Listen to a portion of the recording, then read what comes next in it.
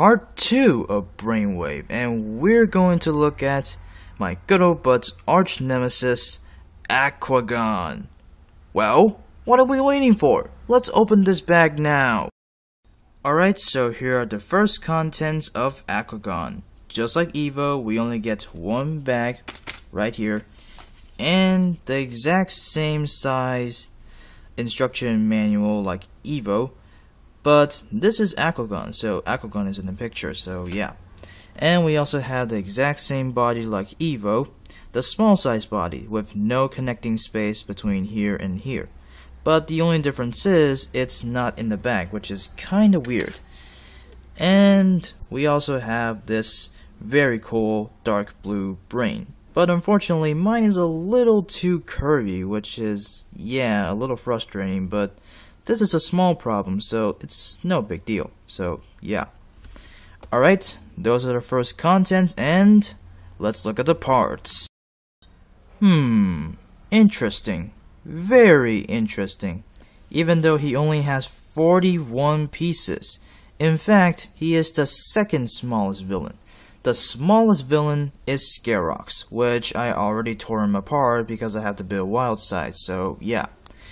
Anyways, we already seen the brain and the body, so let's take them away for a while. And let's take a look at the rest of the parts.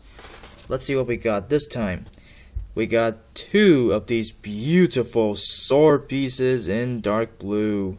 And number 4 size gunmetal gray armor. Two black hands right here. And two of these yellow spikes, large kind. Two of these small spikes in yellow as well. Three of these very special connecting parts, which we'll use them later. And two of the second longest bone parts in black, which are nothing special. But this is special.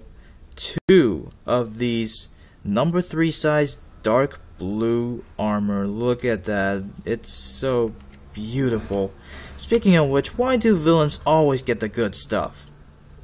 I'm actually saying the truth. So yeah, just deal with it. And we also have this pile up stuff, which um, just tiny stuff. So let's leave them there for now. Two black claws from the Ninjago dragons or whatever. A gunmetal gray armor piece. I think this is the torso. And two of these bone pieces in light silver, light gray, whatever.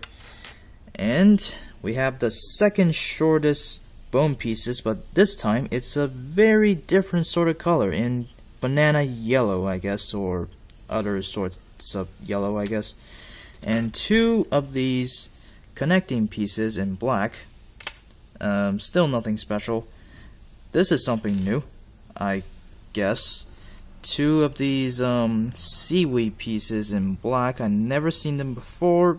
Wait, I did. I did see them before. It's from Ogrum. From uh, it's dark green, but this one is black, which looks even more cooler. Our hero core, which is useless for this one, and we have his face. Wow, that's ugly, but it looks really cool. You can see he has gills and giant teeth and very vicious eyes and it's painted in a very nice yellow. Looks really cool. Last but not least, we have the 2013 headpiece, but this time it's in dark blue. Oh my god. Why?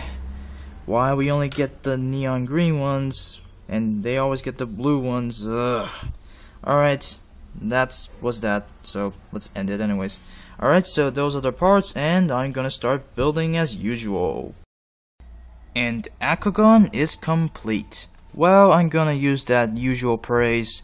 Everything is not what it seems to be.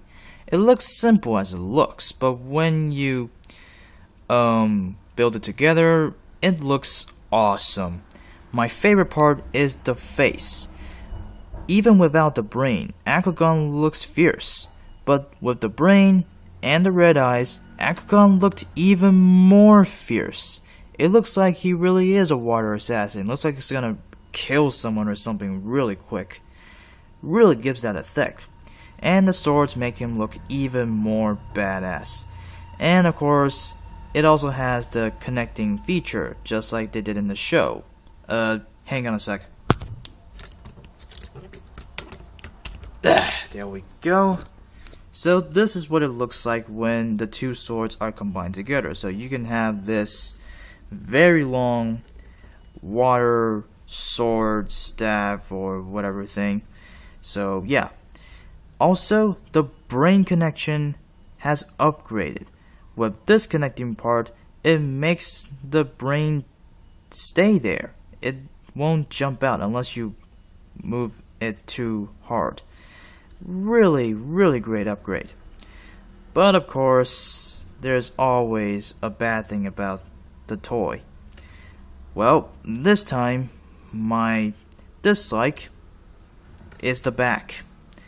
The back is too spacey. It's not actually a big problem, but it just looks too spacey. It just looks boring on the back. Um, I hope they can fix that in the future, but yeah, it's kind of weird that you could see this giant gap right there.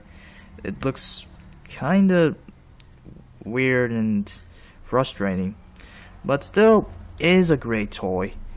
Aquagon is possibly one of the greatest villains I have ever got. And check this out. Aquagon is way shorter than Evo. Look at that. so freaking hilarious. So, yeah it really worth your worth your uh, 9 to 12 bucks or whatever. So that's the water packs, Evo and Aquagon. They are very, very good packs. They are small, but sometimes small packs can become the king, and they possibly can. So, yeah. So, all the water packs reviews are over. Next up, are the electric packs, which is Surge and Dragon Bolt. I'm gonna review Surge first, so yeah.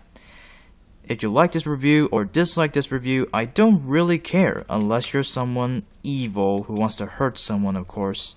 Thank you for watching. This is Wing Rocket, also known as Shining Leon, signing out.